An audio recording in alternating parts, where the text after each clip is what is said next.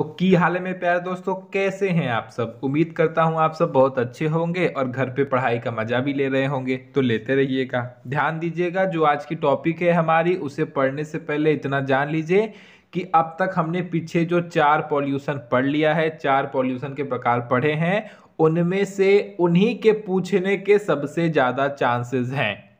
ये पॉल्यूशन शायद नहीं आए या इसमें से कुछ शॉर्ट में पूछा जा सकता है, लेकिन पीछे के जो आपने चार पॉल्यूशन पढ़े हैं, उनमें से पूछने के चांसेस ज़्यादा हैं। बाकी आप इसे भी पढ़ेंगे, क्योंकि कोई भी पॉल्यूशन इतना लायक नहीं है कि आप उसे भूल जाएँ या उसे बहुत ज़्यादा आपको याद करने में मेहनत लगे। बस आप उसके बारे में जानते रहेंगे तो पेपर में अगर क्वेश्चन आ गया तो पूरी की पूरी गारंटी है कि आप खाली छोड़कर नहीं आएँगे। तो आइए, आज की वीडियो की बात करते हैं। आज की वीडियो में हम क्या देखने वाले हैं? हम देखने वाले हैं रेडियो एक्टिव पोल्यूशन यानी कि सिंपल सी बात है, अगर एटमॉस्फेयर में अचानक से, ठीक है, जिस स्थान पे रेडियो एक्टिव एलिमेंट्स नहीं पाए जाते हैं, उस स्थान पर भी अचानक से वहाँ पे रेडियो एक्टिव एलिमेंट्स की मात्रा में वृद्धि हो जाए, यानी कि ग्रोथ हो जाए बस वही आपका क्या कहलाएगा? रेडियो एक्टिव पोल्यूशन या ऐसे भी कह सकते हैं कि अगर एटमॉस्फेयर में रेडियो एक्टिव एलिमेंट्स की उपस्थिति हो जाए प्रेजेंस हो जाए, वही आपका कहलाएगा रेडियो एक्टिव दूसरी बात, ये पॉल्यूशन काफ़ी हानिकारक होता है क्योंकि इसके बहुत ही, जो कहते हैं ना, बहुत ही विपरीत प्रभाव देखने को मिलते हैं, विनाशकारी प्रभाव देखने को मिलते हैं. एग्ज़ाम्पल के तौर पे कैंसर क्या है? इनकी वजह से कुछ रेज बाहर निकलती है, कुछ विकिरण बाहर निकलती है और वो विकिरण हमारे लिए बिल्कुल भी अच्छी नहीं होती है। जैसे आपका अल्फ़ा रेज हो गया, गामा रेज हो गया, बीटा रेज हो गया ये अल्फ़ा किरणें, गामा किरणें, बीटा किरणें उनमें से बाहर निकलती है और इनका हमारे ऊपर किसी भी एंगल से अच्छा प्रभाव नहीं पड़ता है। किसी भी लिविंग ऑर्गेनिज्म के लिए इसका प्रभाव अच्छा नहीं होता है इफ़ेक्ट अच्छा नहीं होता है। दूसरी बात, अगर रेडियो एक्टिव जो एलिमेंट हैं, जो पार्टिकल हैं, जो सब्सटेंस है, अगर वो मिट्टी में भी मिल जाते हैं तो उस मिट्टी में जितने भी काम के, यानी कि पोषक एलिमेंट्स हैं तत्व हैं, उनको बिल्कुल नष्ट कर देते हैं और भूमि को धीरे धीरे यानी कि लैंड को धीरे धीरे बंजर बना देते हैं, यानी कि बिना काम का। अब उस जगह पर कुछ नहीं होगा। सो इस तरीके से ये बहुत ही खराब है। और अगर उस लैंड में, उस भूमि में अगर आप कोई करते हैं तो उन चीलों में भी, उन क्रॉप्स में भी इनकी मात्रा पहुँच जाती है और इस तरीके से हम में भी कहीं ना कहीं इनकी मात्रा धीरे धीरे पहुँच जाती है। तो आप समझ रहे हैं क्या होता है? तो इसके बहुत सारे विनाशकारी प्रभाव हैं। बाकी ये क्रिएट कैसे होता है? यानी कि पैदा कैसे होता है? तो आइए देखते हैं कि क्या है इसके सोर्सेस क्या रीज़न है जिसकी वजह से आपका रेडियो एक्टिव पोल्यूशन फैलता है, या किस रीज़न से फैलता है? तो आइए देखिए, सबसे पहला रीज़न तो यही है। कि आपका जो न्यूक्लियर एनर्जी जहाँ पे जनरेट होती है, यानी कि जहाँ पे आपकी न्यूक्लियर एनर्जी पैदा होती है, अगर वहीं पे कोई एक्सीडेंट हो जाए तो? ज़ाहिर सी बात है, अगर मान लीजिए आपके घर का जो गैस है, उसको बाहर रख लीजिए, आपके घर में नहीं फूटेगा, ठीक है? घर के बाहर रख लीजिए, किन्हीं कारणों से अगर वो गैस फूट जाता है, वो गैस फट जाता है तो जो उसमें गैस है, वो बाहर निकलेगी, ठीक है? सेम वही कंडीशन है जहाँ पे आपकी न्यूक्लियर एनर्जी जनरेट होती है। जब वहाँ पे कोई एक्सीडेंट हो जाए, मान लीजिए वहाँ वो चीज़ वहाँ पे ब्लास्ट हो जाए तो उसकी वजह से क्या होगा? उसमें से रेडियो एक्टिव एलिमेंट्स भी बाहर निकलेंगे और एटमॉस्फेयर को पोल्यूटेड करेंगे और साथ ही साथ जो आपकी रेज हैं, जो आपकी विकिरण हैं अल्फ़ा गामा बीटा वो भी बाहर निकलेंगी। और जब बाहर निकलेंगी तो हमारे ये जो एटमॉस्फेयर है, जो हमारा वातावरण है, इसको पॉल्यूटेड करेंगी तो बस यही हो जाएगा आपका रेडियो एक्टिव पॉल्यूशन अब रही बात इसके ऊपर काम चल रहा है कि ऐसा कुछ ना हो, लेकिन आए दिन कुछ न कुछ ऐसे मामले देखने को मिल जाते हैं। जैसे अभी जल्द में एक मामला हुआ था, जहाँ पर ये घटना हो गई थी, जिसकी वजह से बहुत से लोगों की मौत भी हुई थी और जो उनके आसपास का एरिया है, वो भी प्रभावित हुआ था। ध्यान दीजिएगा, ये इतना सिंपल एलिमेंट नहीं है। जो इनसे रेज निकलती है ना उनका प्रभाव आपका समझ लीजिए जेनेटिकली भी पड़ता है। यानी कि आपकी पीढ़ी पर तो असर दिखेगा ही दिखेगा, आने वाली पीढ़ियों पर भी असर दिखेगा। वो जो आपको याद है, जो परमाणु बम से हमला हुआ था जापान के नागासाकी में वहाँ पे ये हाल था कि कितने सालों के बाद तक भी उसके फ़र्क दिखते रह रहे थे, जो भी वहाँ पे बच्चे पैदा हो रहे थे, उनमें कुछ न कुछ कमियाँ रह रही थी। सोच लीजिए इतने सालों के बाद भी तो ये उसी की एक रीज़न है। तो इस विषय पे काफ़ी दिन से हमारी सरकार से बातचीत चल रही है। जल्द ही कुछ निष्कर्ष निकालते हैं। आप लोग भी चाहें तो अपने सुझाव दे सकते हैं, ऐसी कोई बड़ी बात नहीं है। चलिए, आइए हम अपने दूसरी टॉपिक को देखते हैं। तो बहुत ही सिंपल सी बात है कि अगर हम न्यूक्लियर वेपन्स का यूज़ करते हैं तो उससे भी बड़ी मात्रा में आपका रेडियो एक्टिव पॉल्यूशन फैलता है। सिंपल सी बात है, अगर हम परमाणु मिसाइल का यूज़ करेंगे, परमाणु बमों का यूज़ करेंगे, जैसा कि सेकेंड वर्ल्ड वॉर में किया गया था, और वहाँ पे हमने उसके यूज़ को करके किस तरीके का वो एटमॉस्फेयर यानी कि वातावरण के ऊपर इफ़ेक्ट डालता है, प्रभाव डालता है, वो हमने देख लिया है। खासकर कह सकते हैं कि ऑर्गेनिज्म के ऊपर भी एक बहुत ही विशेष तरीके का फ़र्क डालता है। अगर आप लोग को पता होगा कि जब 1945 1945 में आपके हिरोशिमा के नागासाकी में जब ये हमला हुआ था तो उसकी वजह से बहुत सारी मतलब फिजिकली तो जो प्रॉब्लम होती ही होती है मेंटली भी प्रॉब्लम हुई और जेनेटिकली भी, यानी कि उस पीढ़ी में तो जो उसकी वजह से उस क्या कह सकते हैं, उस न्यूक्लियर विस्फोट की वजह से जो प्रॉब्लम दिखी, वो तो दिखी ही। उसके आने वाली कई पीढ़ियों तक उसकी असर बनी रही और आज भी वहाँ पे पूरी तरीके से अभी भी कुछ इलाकों में वहाँ पे उनके फ़र्क देखे जाते हैं, जहाँ पे आपके रेडियो एक्टिव एलिमेंट्स की मात्रा बहुत ज़्यादा है। आज भी वहाँ पे ऐसे केसेस देखे जाते हैं। वो मतलब जो भी आपके बच्चे जन्म लेते हैं, वो पूरी तरीके से सही नहीं होते हैं। आप इसके बारे में थोड़ा मोड़ा जानते भी होंगे, नहीं जानते होंगे तो आप नेट पे सर्च करके आप इसकी डिटेल ले सकते हैं। और इनकी वजह से, ये आपके रेडियो एक्टिव एलिमेंट्स की वजह से वहाँ के शहरों में सबसे अधिक मात्रा में कैंसर के मामले देखने को मिलते हैं। बाकी अन्य देशों के अलावा या बाकी अन्य शहर के अलावा, जापान के उस शहर में, हिरोशिमा और नागासाकी में सबसे अधिक मात्रा में कैंसर के पेशेंट देखने को मिलते हैं। तो इससे हम कहीं ना कहीं ये अंदाज़ा या ये कह सकते हैं कि उस हमले का और इस कैंसर से बड़ा लेना देना है। इसी वजह से आपके जो रेडियो एक्टिव एलिमेंट्स हैं, वो आपके कैंसर में बहुत बड़ा रोल प्ले करते हैं। और जो उनसे कहीं ना कहीं रेज निकलती हैं, विकिरण निकलती हैं, यानी कि अल्फ़ा, गामा, बीटा, वो भी आपके कैंसर में बहुत बड़ा रोल प्ले करती हैं उसको प्रोड्यूस करने में या उसको पैदा करने में।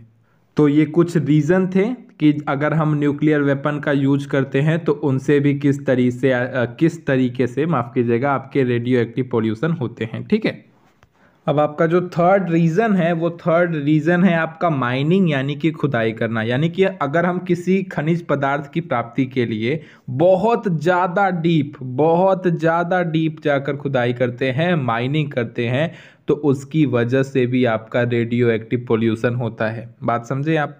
यानी कि किसी चीज़ की प्राप्ति के लिए कोई भी, मान लीजिए कोई खनिज अयस्क हो गया उसके लिए आप एक लिमिट से ज़्यादा अंदर जाते जा रहे हैं और डीप जाते जा रहे हैं तो इस तरीके से भी आपका रेडियो एक्टिव पोल्यूशन होता है। जैसे एग्ज़ाम्पल के तौर पे आपका रेडियम हो गया यूरेनियम हो गया, ये प्राकृतिक रूप से आपके एटमॉस्फेयर में पाए जाते हैं और समान रूप से आपके ये रेडियोधर्मी यानी कि रेडियो एक्टिव एलिमेंट्स होते हैं। एक चीज़ मैं आपको यही आपके जानकारी के लिए बता देता हूँ रेडियो एक्टिव एलिमेंट्स ना बहुत आपको समझ लीजिए, इसके अंदर हाई पोटेंशियल होती है, इसके अंदर बहुत ज़्यादा ऊर्जा होती है। और ये ऊर्जा जिस वजह से होती है, वो आपके विकिरण हैं, यानी कि रेज की वजह से इन आपके एलिमेंट्स के अंदर, इन रेज की वजह से इनकी जो पोटेंशियल है इनमें जो एनर्जी है, वो बहुत बड़ी मात्रा में होती है, ठीक है? आप बात समझने की कोशिश करिएगा। इन रेज की, यानी कि अल्फ़ा गामा बीटा ये जो रेज हैं, ये रेज की वजह से इनके अंदर बहुत ही हाई पोटेंशियल में एनर्जी होती है, ठीक? इसी वजह से ये काफ़ी जब इनका ब्लास्ट होता है या या इनको तोड़ा जाता है या छोटे छोटे टुकड़ों में कन्वर्ट किया जाता है तो इनमें से भी वो बाहर निकलती हैं आपके रेडियो एक्टिव एलिमेंट्स और साथ साथ रेज भी बाहर निकलती हैं। तो इस तरीके से माइनिंग के ज़रिए भी आपका रेडियो एक्टिव पोल्यूशन होता है, आपका इन्वायरमेंट पोल्यूटेड होता है। अब बात करते हैं कि क्या इफ़ेक्ट पड़ते हैं इस रेडियो एक्टिव पोल्यूशन के तो आइए उन्हें देखते हैं हम।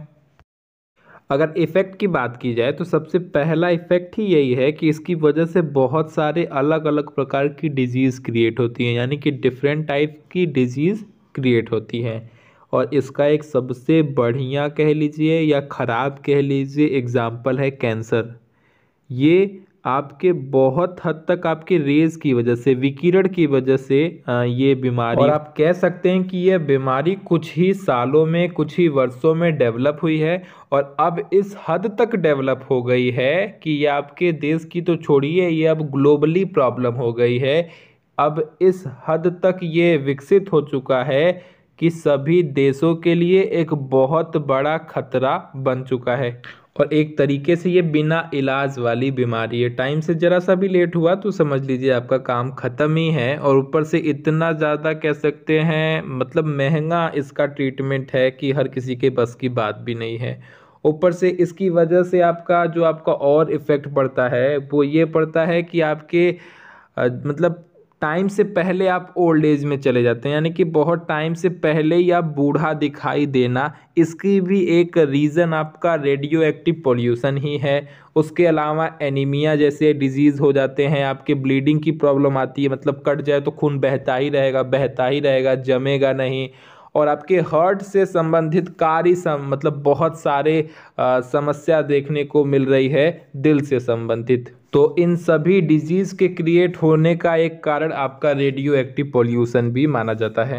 अब बात करते हैं कि दूसरा क्या इफ़ेक्ट पड़ता है। दूसरा इफ़ेक्ट बहुत ही महत्वपूर्ण है कह लीजिए। ये इफ़ेक्ट तो आपकी पीढ़ी को भी डाक जाएगा यानी कि जेनेटिकली क्या इफ़ेक्ट पड़ता है इसका उसे देखते हैं। इसमें सिंपल सी बात है।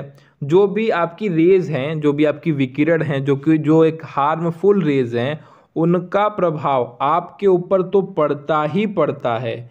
इसका प्रभाव आपके बच्चे में, आपके होने वाले बच्चे में और उनकी भी जनरेशन में देखने को मिल जाएगा। इस हद तक खराब प्रभाव होता है और इसी का बहुत बड़ा एग्ज़ाम्पल है आपका जापान का हिरोशिमा और नागासाकी, जहाँ के आज के समय में भी इतने सालों के बाद 1945 में वो काम हुआ था। आज भी वहाँ के कुछ इलाकों में जहाँ पे रेडियो एक्टिव एलिमेंट की मात्रा बहुत अधिक पाई जाती है, वहाँ पे आज भी थोड़े जो बच्चे जन्म लेते हैं, वो आपके कहीं ना कहीं किसी न किसी तरीके से फिजिकली वो अनफिट होते हैं। ये जो आपकी रेज होती है ना, या जो आपकी हार्मफुल रेज होती हैं, ये आपके अंदर के डीएनए को प्रभाव डालती हैं। आपके डीएनए को प्रभावित कर देंगी तो यही आपका क्या है? ये आपका जेनेटिकली एक सब्सटेंस है जो एक चीज़ को एक पीढ़ी से दूसरे पीढ़ी में ले जाने का काम करता है। अब उसी को ये प्रभावित करती हैं तो समझिए तो अगर वो प्रभावित हो गई तो आपने आगे जो ट्रांसफ़र किया डीएनए, वो भी प्रभावित है। तो इस तरीके से इसी वजह यही रीज़न है कि बहुत पीढ़ी तक इसके लक्षण दिखते रहते हैं। और उससे भी बड़ी बात यह है कि अगर एक बार ये आपकी बॉडी में पहुँच गया और उसके बाद ये एक्टिव रहता है तो फिर ये ख़त्म नहीं होता है। सबसे बड़ी बात ये इसकी एनर्जी को डिस्ट्रॉय नहीं किया जा सकता है। एक बार अगर ये बॉडी में एक्टिव हो गया तो ये काफ़ी टाइम तक एक्टिव रहेगा, क्योंकि इसकी एनर्जी को आप ख़त्म कर ही नहीं सकते। ये डिस्ट्रॉय हो ही नहीं सकती, और इसी तरीके से वो आपके अंदर बहुत सारी डिज़ीज़ को क्रिएट करना स्टार्ट कर देगी। ज़ाहिर सी बात है और ये पहुँच भी जाता है। अगर पता है अगर आपको आपने किसी भी रेडियो एक्टिव एलिमेंट्स को डायरेक्ट हाथ से छू दिया ना तो ये तुरंत आपके हाथ के माध्यम से आपकी बॉडी में प्रवेश कर जाएगा। समझ रहे हैं? अगर आपने इसे अपने नंगे हाथों से छू दिया बि, मतलब बिना किसी चीज़ को हाथ में लगाए आपने इसे ऐसे ही छू दिया तो ये ऐसे ही आपके हाथ में प्रवेश कर जाएगा आपकी बॉडी के अंदर चला जाएगा आपके खून में मिल जाएगा। समझ रहे हैं? अब ये मत सोचिएगा कि मैं हवा क्रिएट करके आपको डरा रहा। ये आपकी रियलिटी है, विश्वास नहीं होगा ना? बहुत जल्दी विश्वास भी क्रिएट नहीं होता। अच्छा इतना तो ना होता होगा। तो आप सर्च करके देख सकते हैं यूट्यूब पे नेट पे, आपके पड़ी हुई है डिटेल आप पढ़ सकते हैं। अच्छा चलिए ठीक है। एक बार को इमेजिन करिए कि कोई एक प्रेग्नेंट लेडी है, उसके अंदर किसी तरीके से अगर ये एलिमेंट पहुँच गया, ठीक है? अब ये पहुँच गया किसी भी तरीके से तो क्या होगा? उसका इफ़ेक्ट इस हद तक दिख सकता है कि वो अंधा हो सकता है, वो आपका गूँगा हो सकता है। क्या पता उसके अंदर मेंटली कुछ डिफेक्ट हो जाए। तो कुछ ना कुछ उसके अंदर प्रॉब्लम देखने को मिलेगी ही मिलेगी। बात समझ रहे हैं? इस हद तक ये ख़राब होता है। अब तो मैं इसके बारे में सोचूँगा भी नहीं। चलिए, अब हम आते हैं कि ये मिट्टी को किस तरीके से ख़राब करता है। यानी कि आपका रेडियो एक्टिव एलिमेंट मिट्टी को सॉइल को कैसे ख़राब करता है, वो भी जान लीजिए। अब ज़ाहिर सी बात है, अगर आपके एटमॉस्फेयर में आपकी ये रेडियो एक्टिव एलिमेंट्स हैं, या आपके रेज हैं तो इसका इफ़ेक्ट आपके मिट्टी के ऊपर भी पड़ता होगा, क्योंकि ये मिट्टी में भी मौजूद होंगे। अब मिट्टी में जो बहुत सारे रेडियो एक्टिव सब्सटेंस हैं, वो क्या करते हैं? वो मिट्टी में मिल जाते हैं। और ये रेडियो एक्टिव सब्सटेंस क्या करते हैं कि जो उस मिट्टी के अच्छे तत्व हैं, जो उस मिट्टी के न्यूट्रिशियस एलिमेंट हैं, उनको मार देते हैं। बहुत हराम खोर हैं मतलब बहुते हराम खोर हैं। मिट्टी के अंदर जो भी कुछ न्यूट्रिशियस एलिमेंट हैं सब्सटेंस है, उनको ये मार देते हैं, मार के मिट्टी को एकदम ख़राब कर देते हैं। इस लेवल का ख़राब कर देते हैं कि मिट्टी आपकी तरस्त हो जाती है, कहती है, आज से हम बंजर हो गए आज से हम कोई भी फ़सल को पैदा नहीं करेंगे। अच्छा तुम बहुत फोर्स कर रहे हो, तुम्हारे लिए करेंगे, लेकिन पहले इसको हटाओ। इस रेडियो एक्टिव एलिमेंट्स को इस खेत में से एकदम हटाओ, वरना हम ऐसा कुछ करेंगे नहीं।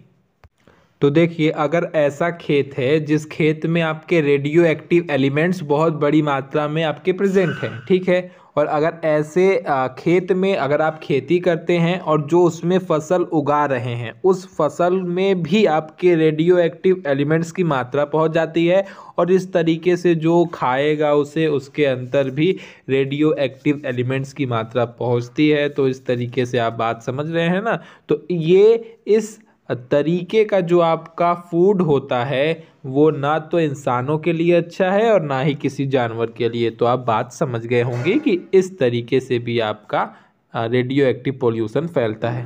अब चलिए, अब हम अंतिम प्रभाव पढ़ लेते हैं कि इसका क्या प्रभाव पड़ता है। तो आपकी कोशिकाओं के ऊपर भी इसका बड़ा फ़र्क पड़ता है। जो आपके रेडियोधर्मी एलिमेंट्स होते हैं, उनका प्रभाव आपकी कोशिकाओं के ऊपर भी पड़ता है। कोशिका को डैमेज कर देती है, बहुत हद तक कोशिका को मार देती है और इसकी वजह से कभी कभी इंसानों में इस रीज़न की वजह से डेथ भी हो जाती है। वो जो रेज नहीं होती हैं, वही रेज सारा काम कर रही है, वही विकिरण कर रही है, वो आपकी बॉडी में जाए बिना ही आपको कर दे रही है। जो लोग नहीं कहते हैं कि फ़ोन से रेडिएशन निकलता है फ़ोन को दूर रखकर सोना चाहिए तो ऐसे में क्या हो रहा है? उसमें से विकिरण निकलती है और वो विकिरण हमारे लिए हानिकारक होती है उसी तरीके से इसमें से भी जो रेज अल्फ़ा गामा बीटा बाहर निकलती हैं, वो हमारे लिए बहुत हानिकारक होती है। हमारे सेल्स के लिए भी जो हमारे अंदर कोशिकाएँ होती है, उनके लिए भी हानिकारक होती हैं और कभी कभी इनके डैमेज की वजह से इंसानों में मौत भी हो जाती है। जानवरों में भी हो सकती है। भाई साहब, हर कोई इंसान ही है।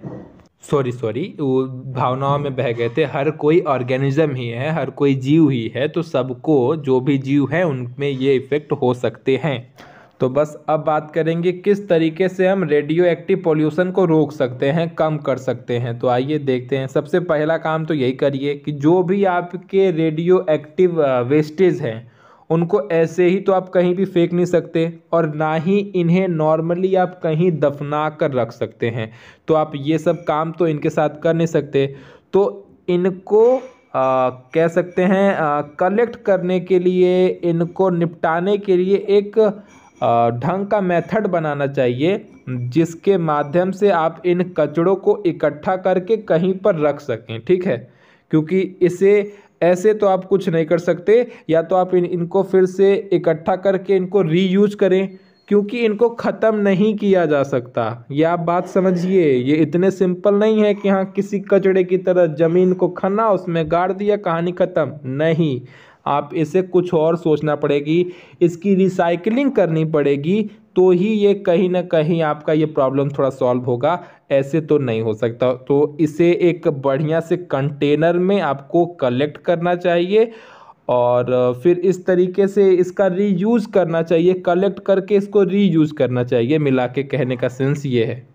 चलिए तो अब बात करते हैं दूसरे रीज़न की। जो भी हम परमाणु परीक्षण करते हैं, जो भी हम ये सब बम बम फोड़ते हैं, इसको एकदम बंद कर देना चाहिए। ये बहुत विनाशकारी है ये सब बंद कर देना चाहिए। और अगर करना चाहिए तो बहुत ध्यान से रेगिस्तान में बढ़िया जगह पर करना चाहिए, जिसकी वजह से कोई जीवन कम से कम प्रभावित ना हो। बात समझ गए? यानी कि इंसानों से दूर करना चाहिए। तीसरी बात जो भी ऐसे एलिमेंट्स होते हैं जहाँ पे आपके रेडियो एक्टिव सब मतलब सब्सटेंस होते हैं या पदार्थ होते हैं, उन पर लेबल लगा देना चाहिए कि भैया, ये बहुत ही खतरनाक चीज़ है छुया जिन और पता है आज की जनरेशन की खासियत क्या है? जो चीज़ मना करो, वही करेंगे।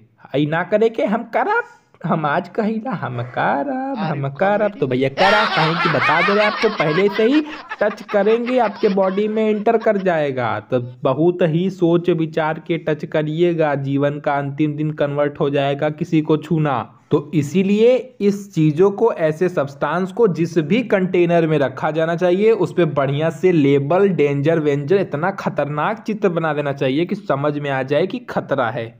अब चलिए लास्ट पॉइंट सुनिए। रिसाइकलिंग की ऐसी बढ़िया टेक्निक विकसित की जानी चाहिए कि ताकि इसको रिसाइकिल करके वापस से हम इसे रिएक्टरों में यूज़ कर सकें, ठीक है? और इसके लिए अगर हमें बाहरी सोर्सेज की, यानी कि इंटरनेशनल अगर कुछ हेल्प लेनी पड़े तो लेनी चाहिए बेझिझक, लेकिन प्रॉब्लम का निपटारा करना चाहिए। आज के लिए बस इतना ही। वीडियो पसंद आएगी तो लाइक शेयर सब्सक्राइब करिएगा। करते नहीं अच्छा नहीं लगता, हमको बहुत गुस्सा आता है, ठीक है? तो अब मिलते हैं अगली वीडियो में। टाटा बाय बाय इससे क्या होता है कि हमारा डेडिकेशन जाने लगता है। एकदम ख़त्म हो गया।